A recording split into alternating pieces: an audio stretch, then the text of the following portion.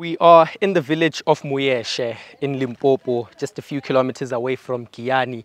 This is an area where former President Jacob Zuma uh, as, and head of, former head of state visited when he was still the country's president in 2009. And residents here have told us that uh, the former president was very, very influential in uh, the development of this area. In fact, uh, we've also witnessed for ourselves that there's a new police station here that's just been built. Uh, there's a library that's been operating, and there's also a sports center, uh, which people here say uh, they were pioneered by former President Jacob Zuma when he was still president of the country. However, the main concern, of course, is that ever since he left office, things here just took a, a, turn for the worst. In fact, they've told Eyewitness News that ever since since uh, former President Jacob Zuma left office, there's been no development whatsoever as compared to when he was still here. We are currently at the home of uh, an Umkhonto weSizwe military veteran, uh, Mr. Josias Maswanganyi, and he's told us that ever since former President Jacob Zuma left office, uh, the ANC government has had no regard whatsoever for people uh, who fought in the liberation struggle. And he's told us that ever since former President Jacob Zuma left, uh, his, his, his, life has just changed uh, for the worse. I'm talking about myself and our military veteran. It's failed you guys. Yeah, ni vona mina ni an doubt why because ni le ku hluphekeni na sweswiwani ni le ku hluphekeni kumbe loko a ni nga joyinangi but from backwards honey our mission or our vision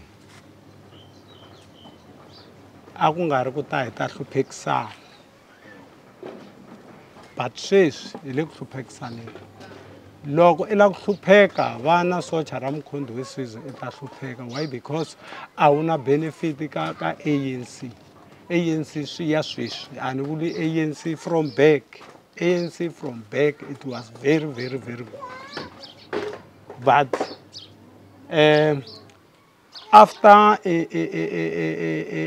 yi lidiwa hi comrade Cyril Ramaphosa a nga lavi socha ra MK a nga ri lavi xo sungula ku na ti-benefit ta hina na vana hi lavawani vo tshama va feyila ku ya xikolweni mara i vana va military veteran but a va le ku ndleni ka nchumu vana va vona va dyondza swikolweni swa manyunyu va le va tshama leni a tshababisini va phina va dya kahle. Vana va hina va kha va hlupheka We've also spoke to another resident here in the Muyexe village, and that's Eddie uh, and he's also told us that uh, ever since former President Jacob Zuma left office, there's been no change whatsoever here. There's been no development, and the place has been stagnant, and service delivery is almost non-existent here. And he's very, very uh, involved in the politics of this area. He's told us that he's now opted to support former President Jacob Zuma's Umkhonto weSizwe party. Yeah, we, we, we do not care if it's no longer eh, belonging to the ANC.